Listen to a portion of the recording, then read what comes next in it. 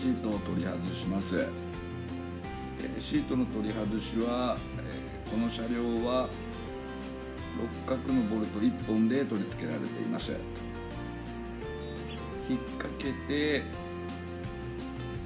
六角のボルトで取り付けるという形になっていますので1本外してちょっとこう引くような形で取り外してください。